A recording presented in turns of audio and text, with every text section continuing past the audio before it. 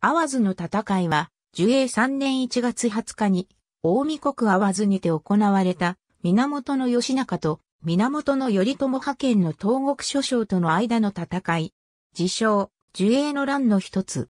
宝十字合戦後、源頼朝は、後白河法皇の命を受けて、弟の則頼、義経以下、参加の東国諸将に、義仲討伐を命じた。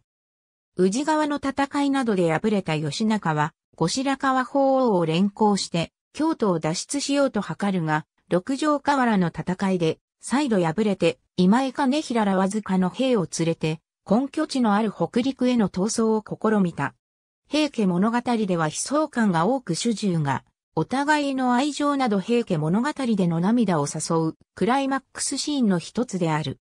吉中が大見国会わずに着いたところ、長年信濃国の支配をめぐる争いで因縁があった一条、忠頼率いる海源氏軍と遭遇、もはや戦力として成り立たなくなっていた吉中軍は壊滅し、吉中今井金平智江御前、手塚三森手塚別当のわずか動きであった。吉中が手塚別当に逃げよと促す最中に、別当は躊躇する。さらに手塚三森が別当に逃げよと催促するも討ち死にする。手塚別当を逃げようと催促する間に、手塚三森は敵に囲まれて討ち死にし果てる。吉中が落ち延びよとの巴御前に催促し巴は、吉中に最後の方向と敵将、恩田八郎の首をねじ切り離脱する。かろうじて逃げ切った吉中に従うのは金平のみであった。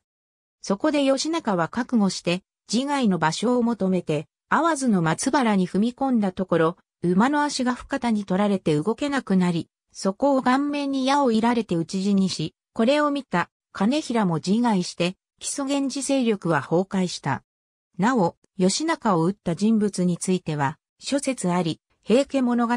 あずま鏡は、三浦市所流の石田為久、具官賞は、義経配下の伊勢義盛と伝えている。ありがとうございます。